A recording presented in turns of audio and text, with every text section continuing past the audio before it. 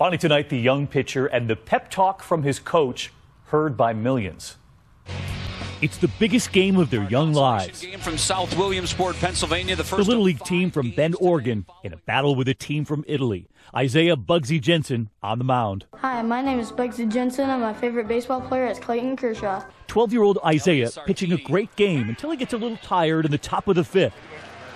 Now he can take his base. Out comes his coach for a pep talk. But that coach just happens to be Bugsy's dad. I just came out to tell you how much I love you as a dad and a player. Okay?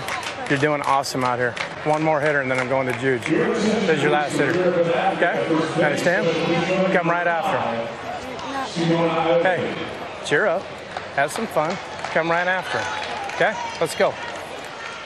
One more batter before Bugsy's replaced. That pep talk from Dad worked. Another strikeout, and the team goes on to win. Victory from nine players from Bend, Oregon, and one very proud dad. So we're in a series on uh, assurance, and I've tried to just think through. I, I, you know, it's funny because I don't know from week to week what I'm going to I'm going to cover uh, in this. Somebody asked me yesterday, said, okay, what passage are you covering?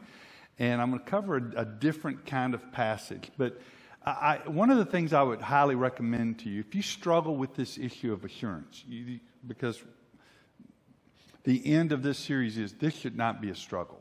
This should not be. A, you, you might struggle with uh, paying your rent or your mortgage. You might struggle with car payment. You might struggle, you know, at work. But this issue needs to be settled. It, it needs to be settled. And I would just encourage you to read uh, in John, the book of John, because John was written to people who were, uh, who were not believers, who were not in a church or anything like that. And it was written, and, and specifically read chapters 3, 4, 5, and 6, and, and even 11. You can read, read through there. And and so many times, John introduces us to these people. And we know some things about them, like Nicodemus is, is unusual in that we know his name, we know he was a religious leader. But then we meet this woman at the well, we meet this man at a pool. And, and we aren't given their names. And what John is doing is inviting us into their shoes to feel what they feel, to think about the world the way they think about the world, and to meet Jesus. And John says, The things I wrote in this book, I wrote so you can know that Jesus is the Son of God and you can have everlasting life because of that. And so um, I've just kind of been working my way through first John chapter 4, we looked at, and then we looked at um, a little bit of John chapter 5 and John 11, where uh, Lazarus is, is raised. We just looked at a part of that story. Last week we looked at the logic of assurance. It was for, for the cerebral people among us that just want to think through everything. We looked at logical syllogisms, and I encourage you to, uh, if you haven't seen that, look at that message because uh, it was just the logical facts of what assurance is. And then the podcast came in under that and followed that up, and, and I think you'll find that helpful as well. Today, I want to tell, talk about the emotion of, of assurance because I, I, dare say most of us, if, our, if we have a struggle with this issue, it's in the area of emotions. And so um, I, w- I want to talk about that in some real practical ways, but, but we're going to go there through our, our thinking, through the, the knowledge gate, you might say. One of the things that has happened in evangelical Christendom, and uh, there's, some, there's some very good people people that I, I read and I admire and I like. And you will hear this amongst these people that doubt is good. In fact, they'll say this that if you doubt your salvation, if you have doubts about your salvation, that's normal. In fact, I've, I've read somebody that said it's almost required that you doubt your salvation. Uh, one of the things I was reading was a guy said, doubt is like um, raisins you put in oatmeal and you mix it up. So there's going to be doubts in there. Uh, I could not more categorically disagree with those statements. I, I don't think that's, what's, that's what should go on. Like I said, you can have doubts about a lot of things. You can have doubts about a lot of theological questions. You know, Uh, you can have doubt. Is Jesus coming back? You can, you can doubt that if you want to. I don't doubt that, but you, you can. Uh, you know, should we get sprinkled or should we get dunked? You can, you can doubt. You, and there's room for disagreements there. I will gladly give you room for that. Uh, should people speak in tongues or not? I will, I will grant you all of that. But on this issue of whether you're in God's family, you shouldn't doubt. I, I would just ask you do, do you doubt what family you're in? Physical family? So this morning, I want to I want to talk about feeding that doubt because if if we can stop feeding that doubt and if we can address those issues, and I, I'm going to share with you my story this morning, and I do understand my story is unique, but people are blown away, and I'm talking about at seminary when I say I never doubted my salvation, never, never. There, there's never been a time that I've doubted my salvation, and we're going to see why. And it's one of the three reasons I want to talk about this morning. So, a lot of theologians will praise doubt, and I want to go right to the heart of the issue of doubt. I want to tell you that doubt is an enemy. And that people, even good people, that encourage you and try to uh, foster your doubt and say it's normal and everything, I think they're undermining what God wants to do. Good people, good people. Good people can do that. So I want to go back and I want us to look at the, the, where it all began. Where it all began. And I want to, I want to lead us into where that doubt ended up taking us. Let's uh, op- open your Bibles to Genesis. Genesis, we'll start in chapter 2. In Genesis chapter 2, the Lord God took the man and put him in the Garden of Eden to work it and take care of it. Yes, there was work. Before the fall, there was work. You had to tend it, but it was fulfilling work. It was, it was work that said, oh, there's a purpose to this. There's a, there's a reason for this, and, and, and I feel useful. I'm not just standing around. And the Lord God commanded the man, You are free. This, this is the phrase, this is the money phrase right here we need to have. You are free to eat from any tree in the garden. Remember that phrase, lock it down. God said, You're free to eat from any tree in the garden. But you must not eat from the tree of the knowledge of good and evil, for when you eat from it, you will certainly die. But you are free to eat from any tree of the garden. This whole big place and everything in it, you're free to eat from anything except that one tree. Now, we go on just a little bit later. And we get to chapter 3, and I want you to notice what happens here and the, and the tool that is used. Now, the serpent was more crafty, so we get an idea of, of the serpent's personality, more crafty than any of the wild animals that the Lord God had made. And he said to the woman, Did God really say, You must not eat from any tree in the garden? You are free to eat from any tree in the garden. You are free to eat from any tree in the garden. Did God really say you must not eat from any tree in the garden? What's he doing there? He's sliding in doubt. He's sliding in doubt. He uses that doubt as a wedge issue between Eve and between God. Did God really not say you must not eat from any tree of the garden? And then he goes on. And the woman said to the serpent, We may eat from fruit from the trees in the garden, but God did say you must not eat from the tree that is in the middle of the garden, and you must not touch it or you will die. So we stay away from that tree. God didn't say stay away from the tree. He didn't say you don't, can't touch it. Said don't eat from it. She put up a, a rule to make sure. And then here it comes from the serpent. He says this You will not certainly die. I think the King James says, You will not surely die. What, what's just happened there? Doubt. God's told you one thing, doubt it. Your parents tell you one thing, doubt it. The pastor tells you one thing, doubt it. And he says that you will not certainly die, the serpent said to the woman. For God knows that when you eat from it, your eyes will be open and you will be like God, knowing good and evil.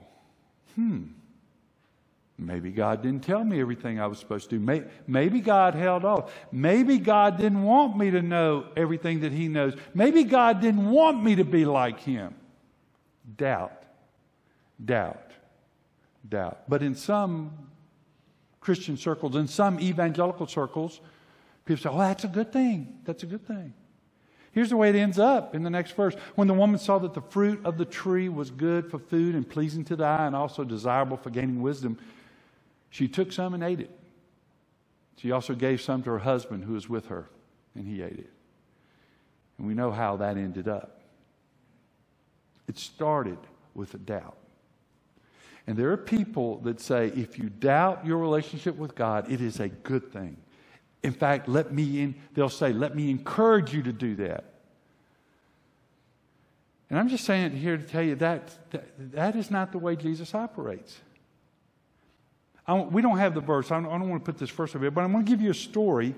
And that story is that when Peter is walking on the water, he's walking on the water to meet Jesus, and then he takes his eyes off Jesus, starts singing. He says, Save me. And Jesus says, Oh, ye of little faith, why do you doubt? Jesus doesn't give brownie points for doubting. He doesn't. There, there's not this thing to where you get to come up in front of the class and you get your star, a star by your name because you were a doubter. Well, that, right, but, but, but I can't. I can't help from doubt. I want to deal with three reasons you probably doubt. Three reasons. First reason, uh, psychologists call this the family of origin. It is the family you grew up in. When you were small, when you were young, you grew up in a family, and your family did things a certain way. There were certain rules. There were certain things that if, if the neighbor across the street, if your buddy across the street, if they did this, it wasn't a problem. If you did it, you got in trouble. Your family had certain rules and certain guidelines. And there were things that were okay and not okay in your family. Your family of origin can affect that. Do you think when, when that dad went out on that pitcher's mound, do you know what everybody on those stands were thinking he was going to say? Not, I just came out here to tell you I love you.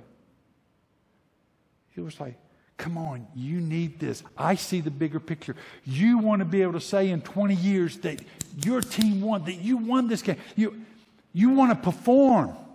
You want to perform. And, and some of you grew up in families to where performance was all that matters. When you brought home the report card, your mother looked at all your report card and having looked it over, what she pointed out was the, grade, the, the worst grade. Disregarded all the A's and went to the D or the C or the F. In uh, February, um, a, a lady has a, an, an, issue. Her husband leaves, leaves her. They've been married for two years. He, he leaves her, and uh, she doesn't know what she's going to do. She moves back in with her mother, and she's starting to feel sick in, in, in March. And in April, she goes and visits the doctor. And the doctor has to break this horrible news to her that she's pregnant. Well, her husband just left her. She literally leaps from the chair, grabs the doctor, and says, You've got to fix this. You've got to fix this. The person said, I can't, I can't fix this. And in October of that year, I was born. The year was 1960. And uh, mom uh, had, you know, she, she, she, it was her childhood sweetheart, and he had left her. And then after I was born, mom had one of those figures that popped back, you know. And so then this gentleman comes back into her life. And uh, 15 months later, my brother was born, but he, he left again. So it's mom, it's the year is 1962, and it's mom and me and my brother. And um, that's pretty much the way it's going to be. And we're living with my grandmother. And there's a gentleman that meets my mom. He's working at the phone company. She's working at the phone company. He's an operator there. He's a cable splicer there. And um, he would come over and they would go on dates. We would stay with grandma. Again, I'm, I'm very young at this point, but you know, the cards were kind of stacked against him because we started calling him daddy. You know, we were talking, and that's kind of weird in and of itself. You know, you're dating this chick, but you don't, you, the daddy kind of thing is not something you necessarily want. And, and, and um, he said, he said, uh, marry me. Marry me. She said, no, I'm done having kids. I have any more kids. And uh, he said, please marry me. Please marry me. And uh, she said, no. She said, I'll tell you what. She said, if you build me a house, I'll marry you. And the way mom tells the story, she says, dang, if he didn't go out and build me a house. so, uh, 1964, uh, the end of 19, you know, about this time of year, 1964, we move into a house, and I'm four years old, and mom and, and dad has gotten married. Um, and, you know, to, to wrangle me and my brother took a, a man that uh, knew a belt wasn't just for wearing around your waist. And me and my brother, we were wide open. Sports, uh, fights. If, if we didn't have anybody to fight with in the neighborhood, we'd fight with each other.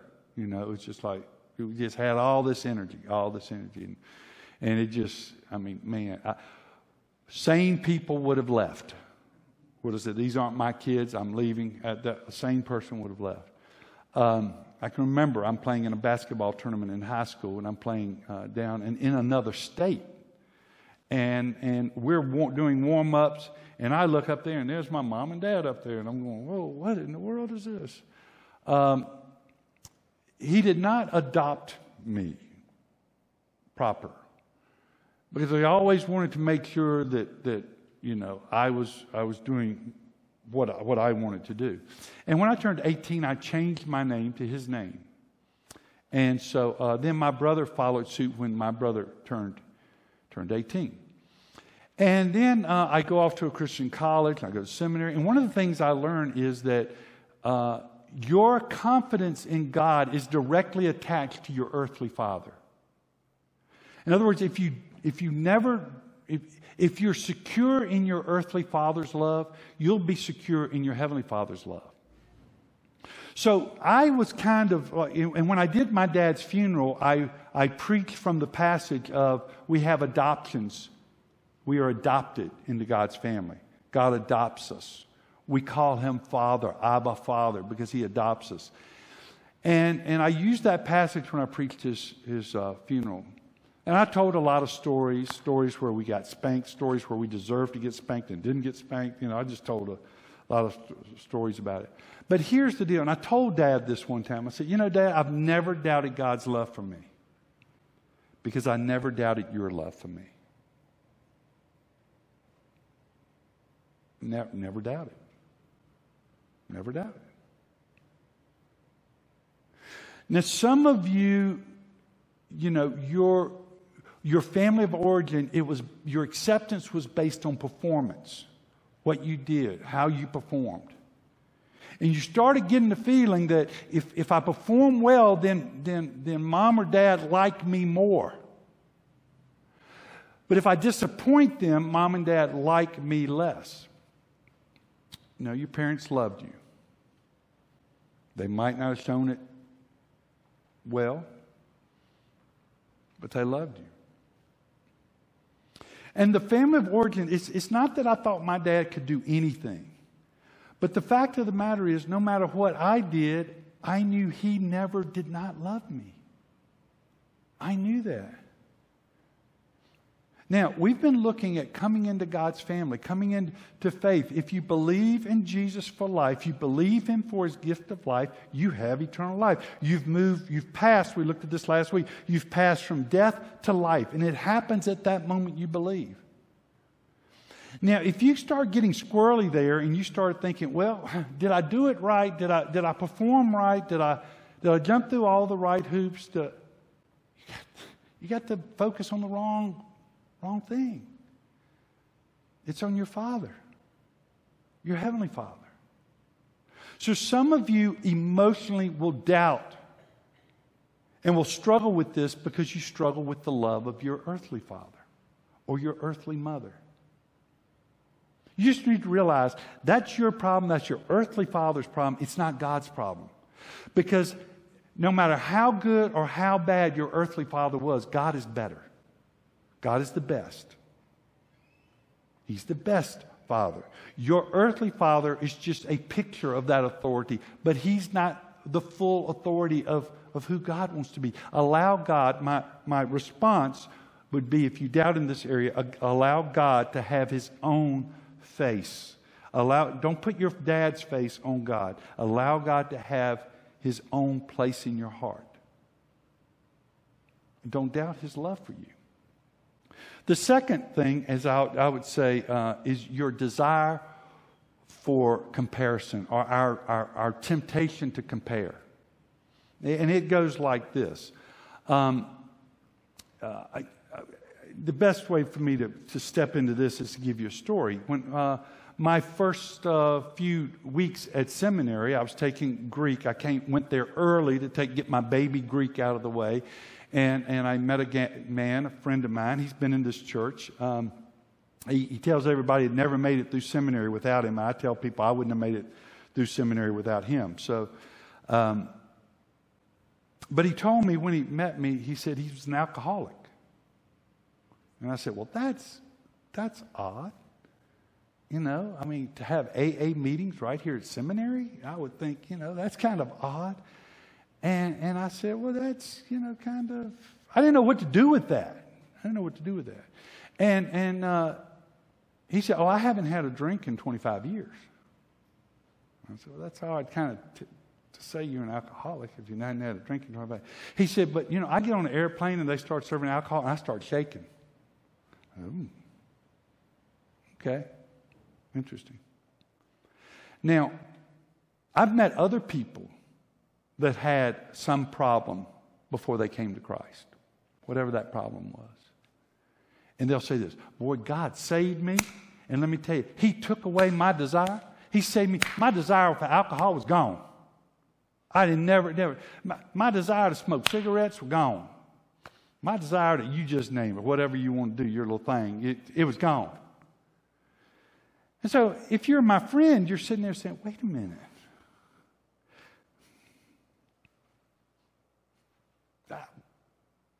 Why do they get to be released from whatever is undermining them and, and I still got to struggle with it? That's not fair. And some people will say, well, it's probably because you're not saved. It's probably because you're not a Christian.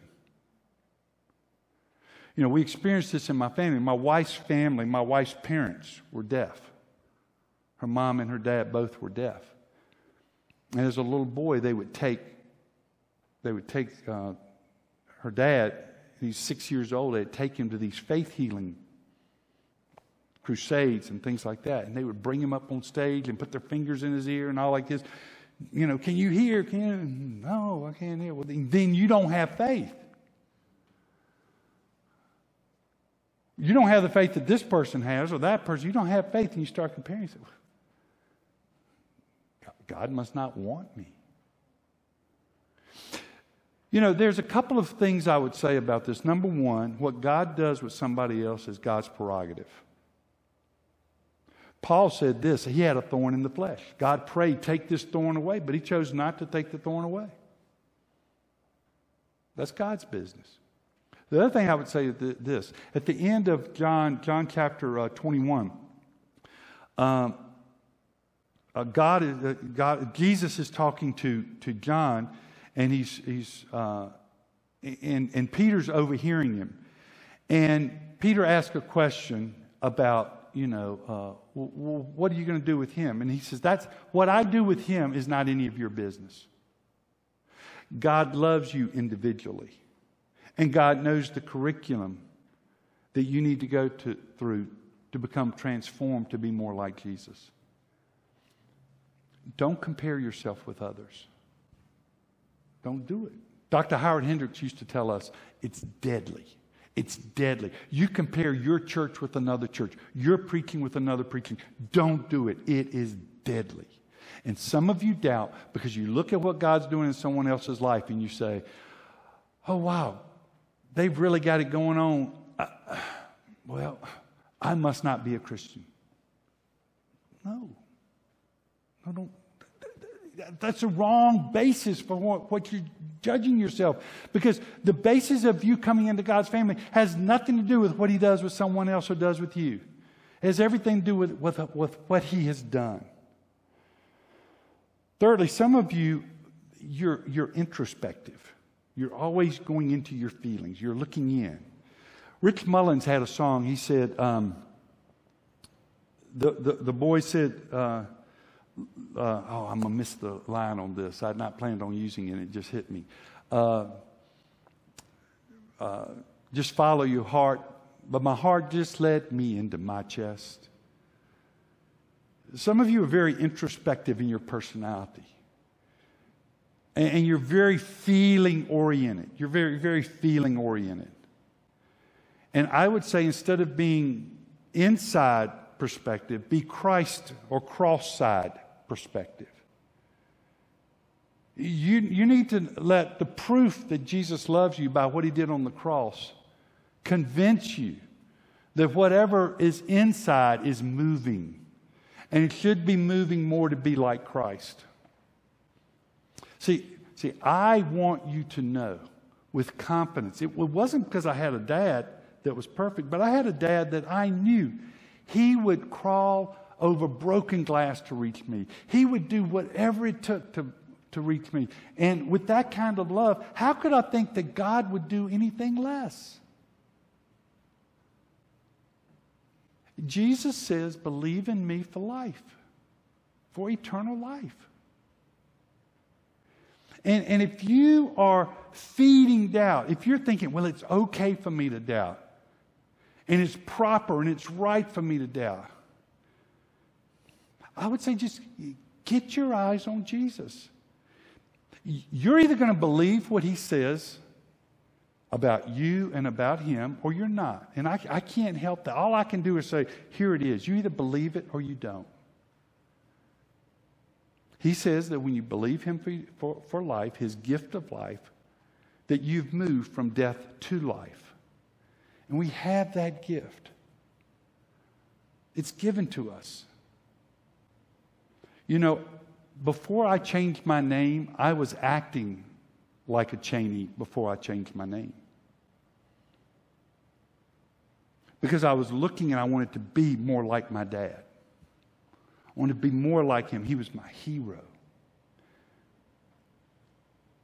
And the fact of the matter is, as you look at Jesus, you want to be more and more like Jesus, and you want to follow him and follow his example. I want to end with this, this verse because I've talked to some of you in this series as I'm going through this series, and some of you have said, Yeah, you know, I struggle with that. Some of you have said, You know, I never struggle with it. Never. And, and, and someone this week, I forget who, said, You know, it's pretty simple to me. It just, just comes down to one verse. John 3:16. So let's just look at it. For God so loved the world God loved everybody, that He gave His one and only Son, that whoever, and then what, right here we stop and we want to change things out right here. Whoever pitches a perfect game shall not per- perish but have everlasting life. Whoever joins a Baptist church will not perish but have everlasting life. Whoever is raised in a nice Catholic home will not perish but have everlasting life. Whoever gives up smoking, drinking, chewing, or going with girls that do those things will have, will not perish but have everlasting life. We subtly slip things in there and we get confused, and it's real simple. Whoever believes in Him. It can't be that easy. Can't be.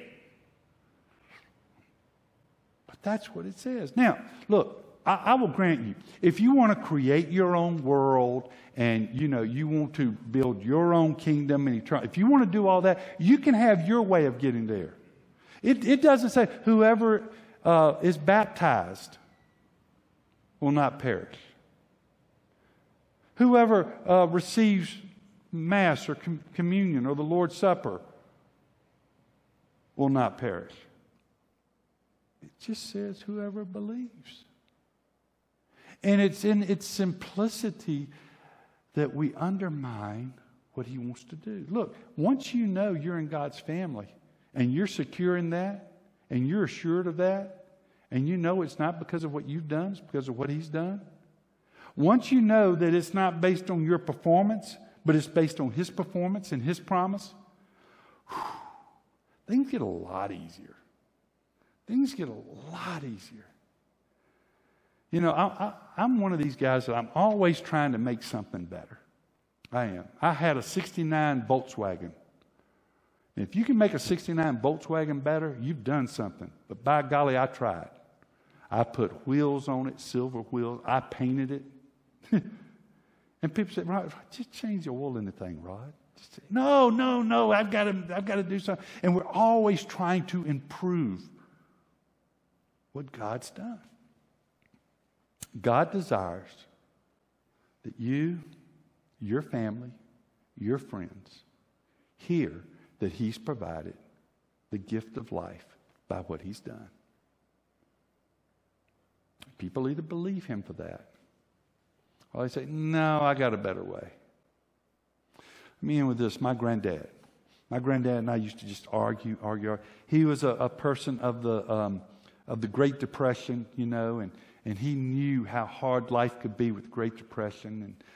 And, and uh, his dad died early in a, in a, uh, car actually hit him and he died. And granddad would always tell me, Yeah, but you got to live it too. He would always say that. I'm no theologian, but I know you got to live it. And granddad, you know, don't, don't drink and smoke don't do. Now, Granddad had his own pack of sins. So let me just tell you, he had his own pack of sins. But the sins that he thought God really worried about were the ones he wasn't doing. I'm just saying that's the way. Yeah, Granddad. But I can remember on my granddad's deathbed, he looked with his eyes to me, and and it was like the realization, yeah, I can't do this. Yeah, but you know who can? Jesus can. And all your quitting and starting won't help it. Stopping doing this, starting doing that. It's what he's done. So don't feed your doubt. And anybody that tells you doubt's a good thing, it's good, good, good. No. No. Because, like I said last week, it would crush every parent in here if their child did not know that they loved them. It'd crush them. And if you don't know God's incredible, irrational love for each and every one of, uh, of us, then I don't, I just, I don't know. I'd see a therapist, do something. Because he loves us. And now, we're walking free. We're walking free. Let's pray. Father, thank you that regardless of the battles that go on inside us. Thank you that you stay steady. Thank you that your promises are true. Thank you that we cannot improve on the plan that you have put into place. Thank you that although it's simple from our perspective, it was hard from your perspective. You did all the work, you carried that load. And Father, for some of us here, uh, we grew up in families with loving parents, and we've never doubted their love. And, and thankfully, when we came into the family of faith by simple faith in what Christ had done for us, when we came to believe Him and accept His gift of eternal life, it was all good, and we were secure in that. But so, some of us, if we're honest, we struggle. When we pray to you, we see our, our dad or our mom's face who who put themselves first. But that's not you. You haven't put yourself first. Your desire to be with us in eternity outweighed everything. It made it where you would go. and suffer and provide sin's payment for us. So I just pray that if we're wrestling with our family of origin, that you would, uh, you would just minister to us and, and heal us and help us see the good God that you are. And Father, if we're if we've allowed the sin of, of pride or comparison to come in, may we realize that how you deal with us will eventually transform us to be more like Jesus. And, and if we look in, introspectively, help us to put our eyes on Jesus and what he's done. Help us to, to not feed doubt, but to walk in faith. For it's in Christ's name I pray. Amen. Amen.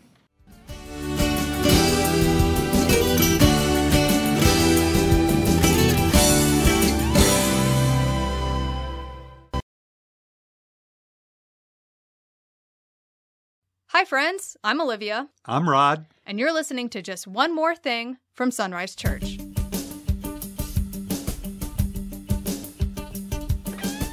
Welcome, everyone, to another episode of Just One More Thing from Sunrise Church. In today's episode, we are covering the October 8th sermon titled Feeding Doubt.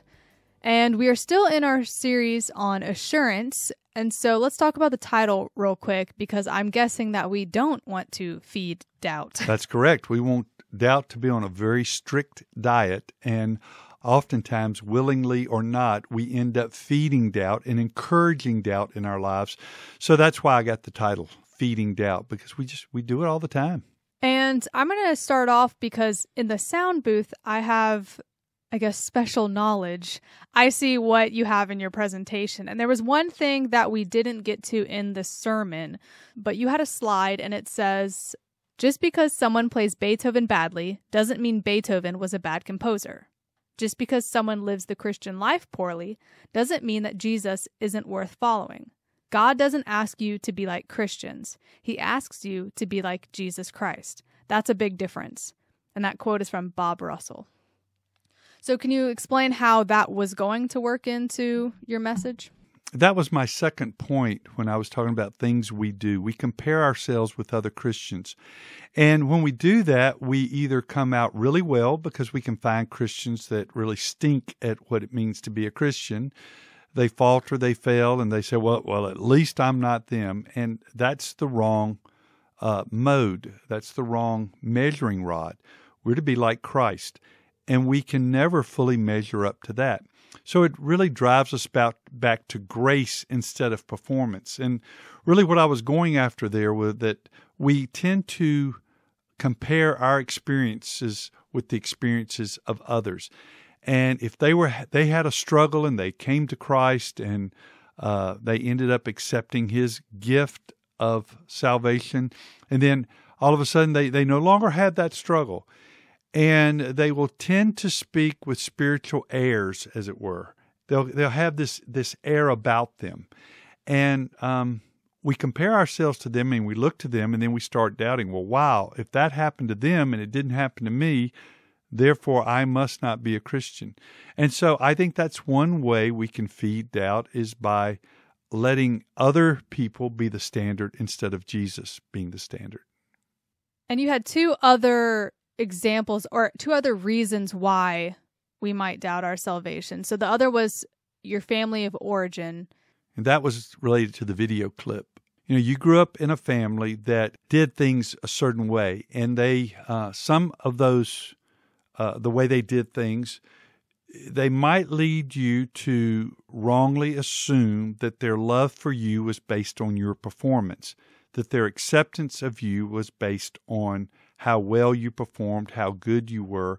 And so we end up, a lot of times, we carry that in to our relationship with God. And, and I told my story in this, uh, in this sermon, and I never, ever had a doubt of my salvation because I knew that regardless of my performance, my father loved me and he loved me unconditionally. And it wasn't based on my performance, it was based on his character and he had proven himself over and over again to be faithful in his love for me. So when someone shared with me the good news that Jesus had died on the cross for me and he offered me eternal life, I just didn't think that he could go back on that or that he would go back on that, regardless of my performance. Um, and so some of us struggle with this whole concept of feeling, and this message was about feeling, feeling like we've done enough, feeling like we're in God's family, being assured of that, because we might come from a family who played by a different set of rules than what God plays by. So the last one was introspection, and that's more looking at yourself to see if you is it that you feel like you're secure in your salvation or you feel like you're doing enough? What what was the explain the introspection part? Yeah, and if there's just one more thing that that I wish I would have added to this message is uh, I think the perfect example of introspection is your mother.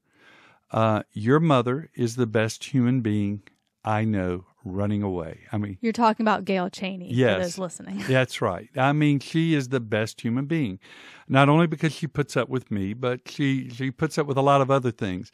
But uh, the first few years of our marriage, your mother is very introspective. She she very much wrestles with, you know, not being good enough. And you know, all I can say is I've never I, I've never been under the assumption that I could make it to heaven by anything other than God's grace. If you could be good enough to get there, your mother would qualify. But of course, no one can be good enough. And so her focus was how well she was doing, how well she was living out the Christian life. Now, that in and of itself was defined by others. Well, good Christians do this or don't do that. You know, preachers would say, "Hey, if if you don't feel comfortable, you're you're probably going to hell." if uh, look at your life, look at your life. And Jesus doesn't tell us to do that. He says, look at this gift. It has been paid in full. So, my point there was that there are people, and I don't know if I said this or not, but your mother doubted her salvation for like the first three years of our marriage. And there are people that look at their lives and that, that always feel like they'll, they'll never be good enough. And while that's true, that's not the basis of their acceptance into God's family. It's not based on their performance again, how good they are, how good they, they, they might not be. It's based on what Christ has done and what Christ provides. Absolutely. And if you if you're struggling with this issue of assurance of salvation, you know, you can feel free to email us at ask at isunrise.org. That's A S K at isunrise, the letter I, sunrise.org. And we're going to point you right back to Scripture because um, that's where your security and that's where your assurance should come from in the performance of Christ and not in your own performance. I thought my video clip was was great, even though it was, you know, about six, seven years old. A father walks to the mound during the Little League World Championship, and he comes out there. He's the coach, but the pitcher is also his son. And the first thing he says to you, I just came out here to tell you I love you. And, and that's what that kid needed to hear. And, and I'm just thinking that 90 plus percent of other fathers who might be in that position would not have said that. They would have talked about and targeted his performance.